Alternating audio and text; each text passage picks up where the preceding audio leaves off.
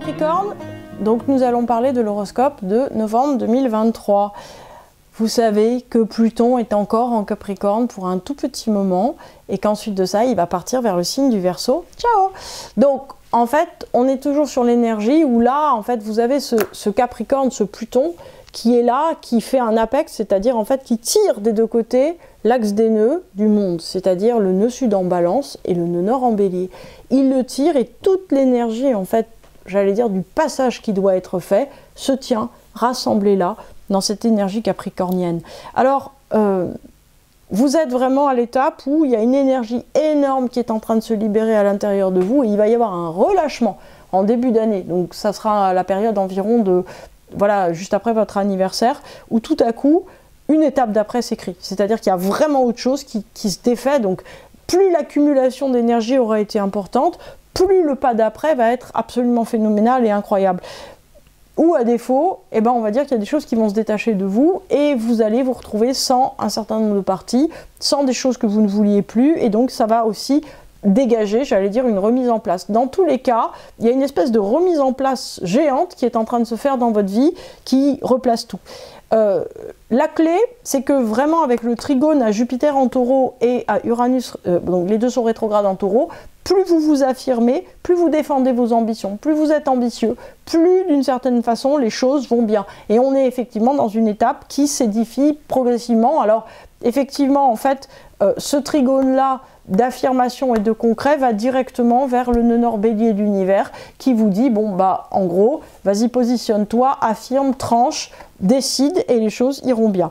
Alors il est vrai que avec euh, le sextile à Mars et à Mercure en scorpion, c'est-à-dire que en fait plus vous réagirez, plus vos choix entraîneront des conséquences très importantes. En fait, vous êtes vraiment sur un module ou un mode d'action qui est un mode d'action où vous tirez énormément de ficelles à la fois, c'est-à-dire que vous voudriez vous positionner sans rien perdre ou en pouvant d'une certaine manière un peu manipuler les choses autour de vous. Alors, c'est pas forcément possible. Ce qui est clair, c'est que tout mouvement que vous allez faire, toute action que vous allez faire va entraîner des conséquences d'une amplitude phénoménale que vous ne mesurez même pas. Donc de toute façon, vous allez être pris de court, euh, vous allez devoir vous positionner sur tout un tas de choses. Il y a énormément de déclencheurs, énormément de choses.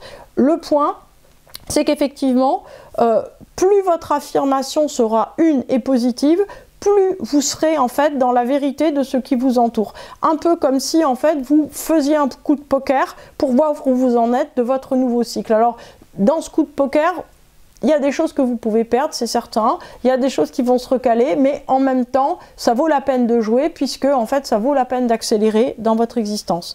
Alors, euh, en termes de, quotidien, en fait, donc en termes affectifs, il est possible qu'il y ait des gens qui soient laissés derrière vous. Il est possible que vous recueilliez. Il est possible qu'en fait vous vous disiez bah voilà je, pars, je tourne, je tourne à droite et je laisse les autres à gauche. Et tant pis j'avance. C'est possible. Euh, au point de vue, on va dire socio-professionnel, euh, ce qui se passe en fait, c'est que soit vous avez énormément de choses à faire et vous n'êtes pas prêt d'en voir le bout, puisqu'en fait vous êtes en train probablement d'édifier un nouveau cycle, soit, euh, j'allais dire, vous avez moins à faire entre les mains, etc. Et en fin de compte, d'une certaine manière, vous êtes dans la continuité de quelque chose qui est en train de se réduire comme un gros fleuve qui va devenir un ruisselet. Donc quoi qu'il arrive, de toute façon, on est dans un passage de nouveau cycle, soit par une amplitude énorme, soit par une j'allais dire un évidement, vous voyez, c'est comme un tonneau percé qui se vide, donc c'est l'un ou l'autre. Donc quoi qu'il en soit, si en fait vous n'avez rien à faire, vous inquiétez pas, l'univers va pourvoir, vous allez avoir un truc très surprenant à faire. Quoi qu'il en soit, on est dans de l'hyperactivité. Alors soit c'est de l'hyperactivité que vous avez construit, soit c'est de l'hyperactivité euh, que vous n'avez pas anticipé mais qui va vous tomber dessus. Donc quoi que vous devez vous dire, en tout cas, c'est que si votre but est juste, vous verrez de l'aide, de l'aide et des opportunités venir. Et euh, en fait, vous ne savez pas non plus ce qui est secondaire ou ce qui n'est pas. Euh, ce qui est important, en fait, c'est de ne pas trier trop vite ce qui vous paraît secondaire ou pas secondaire. Il faut en fait accepter d'avancer à l'étape suivante et de ne pas regarder. C'est-à-dire que si vous avez des trucs qui sont branlants dans votre vie, donc vous savez que tôt ou tard il faut s'en détacher, éjectez-les maintenant, coupez, tranchez tout de suite. N'attendez pas, ne vous dites pas ah mais en fait il faut que j'attende parce que je préfère que ça se défasse de soi, je suis contemplatif, tout ça c'est de l'énergie balance, ça va pas, il faut trancher, il faut y aller, il faut faire de l'énergie bélier. Alors, euh, je voulais vous parler un petit peu euh, de la différence en fait entre l'effort et le but et donc du lien astrologique entre Mars et Saturne pour que vous compreniez bien, alors vous Capricorne mais les autres aussi hein, qui peuvent venir, euh, à quoi servent nos efforts. En vérité, si vous voulez, Mars est vraiment la planète du faire, de l'ego, de la volonté, etc. Donc en fait, nos efforts servent à développer une compétence, ça c'est la première chose, à renforcer notre identité, à développer la confiance en soi, un savoir-faire. En fait, nos efforts servent à nous constituer. C'est-à-dire qu'en fait, souvent, euh, quand on se demande comment va pouvoir venir la confiance en soi, uniquement avec les efforts, uniquement avec le savoir-faire, uniquement en fait avec le fait de faire. Vous n'aurez jamais confiance en vous sur quelque chose si vous ne le faites pas. Par exemple, si vous avez peur de parler en public, il faut parler en public. Si vous êtes musicien, moi j'ai une, une, fille qui est musicienne professionnelle, quelquefois elle a le trac, surtout pour des examens, bah, il faut passer des examens en fait. Il n'y a aucun choix. C'est-à-dire que si vous voulez acquérir un savoir-faire, il faut vous confronter. Ce n'est que la confrontation et l'effort et le fait de réussir et de réussir des choses toujours plus difficiles qui vous donnera finalement confiance en vous.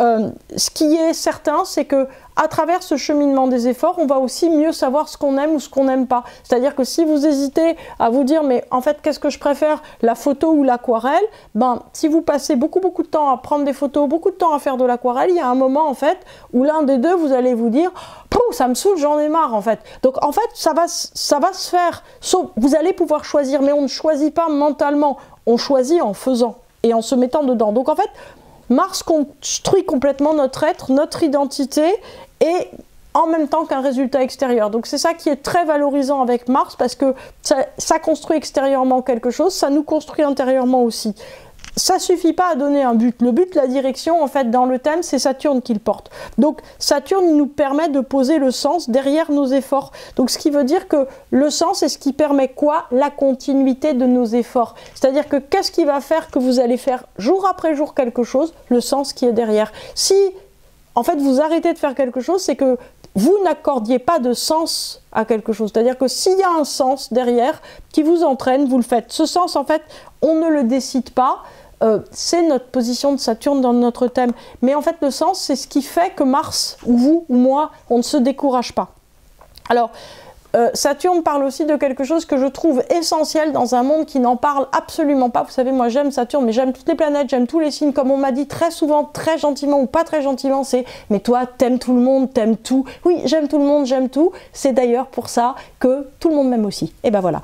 Bon, Saturne en fait vous donne une identité de transmission. Donc identité de transmission, ça veut dire quoi? Ça veut dire que ça permet de se substituer à l'image. Vous savez, on parle aujourd'hui beaucoup de l'image, c'est-à-dire qu'on parle du fait que bah, vous devez être sur Instagram, moi aussi, que vous devez être sur Facebook, moi aussi, que vous devez être sur YouTube, moi aussi, hein, voilà. Mais en fait, si on y est avec une identité de transmission, c'est qu'on n'y est pas juste pour se montrer. Et pourtant, je suis bien maquillée, je suis très jolie. Mais c'est pas juste ça. En fait, l'idée, c'est que je vous transmets quelque chose. Qu'est-ce que vous avez à transmettre derrière votre image? Si vous photographiez juste des gâteaux à la crème, c'est gentil, mais ça donne faim à tout le monde et après, vous allez générer des prises de poids. C'est pas une bonne chose. En fait, ce qu'il faut que vous vous demandiez, c'est que vous projetez votre image, mais qu'est-ce que vous voulez produire? Vous voulez quoi? Vous voulez être aimé? Vous voulez transmettre quelque chose? Vous voulez une communauté? Vous voulez des amis? Invitez-les chez vous. En fait, l'idée, si vous voulez, c'est que l'image en soi ne sert à rien. Derrière l'image, il doit y avoir une transmission. Il y a toujours une transmission. Souvent, il y a les transmissions des pubs hein, qui passent